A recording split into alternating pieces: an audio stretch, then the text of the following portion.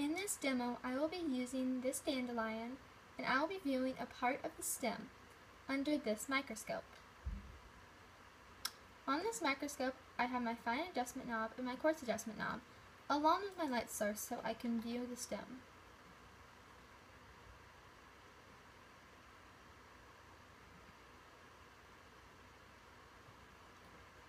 Let's take a look inside the plant cell on a high power objective.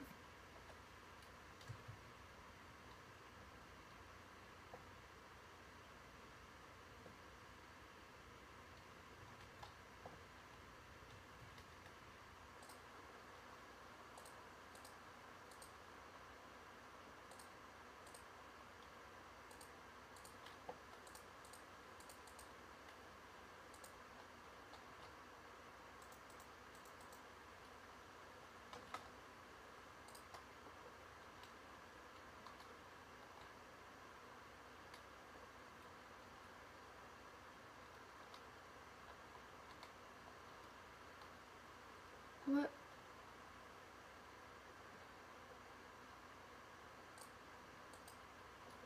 We are now passing through the cytoplasm.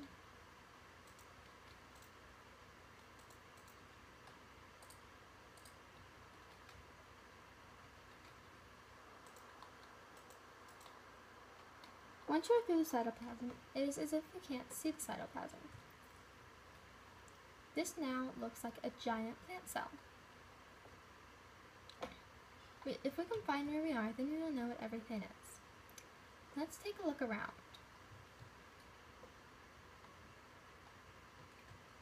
Okay, so this must be the nucleus. That contains the chromosomes, the nucleolus, and genetic information. Which means that this must be the rough endoplasmic reticulum. since it is covered in ribosomes, which means it is involved in the production and export of proteins.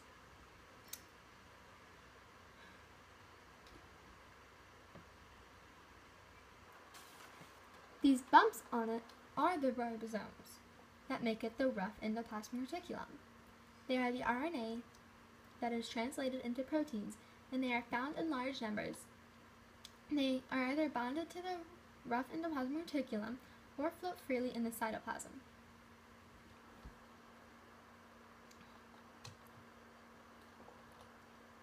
Over here is the mitochondria. It is, it is generally squiggly inside and it is the powerhouse of the cell, which is why it has all of these switches in it.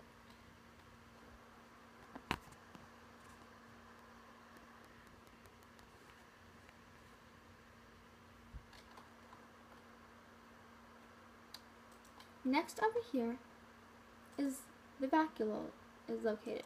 As you can see, it contains the water and food that gives the cell its energy.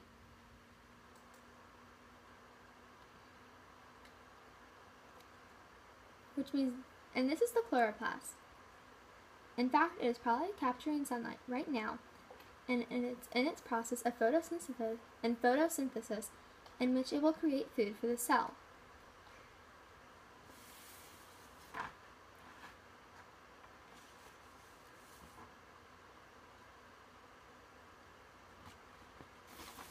Over here, the smooth endoplasmic reticulum is located. It will produce lipids.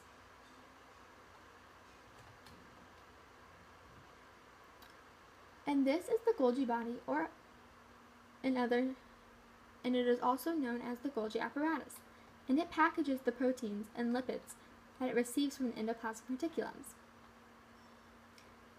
In order to get out of the cell, First you have to pass through the cell membrane.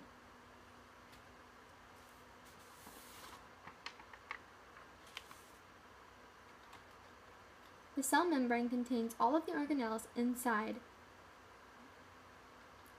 of the cell. Outside of the cell membrane, the cell wall is located, and that makes the cell, and that makes the plant keep its shape. This has been an up-close view and tour of the cell.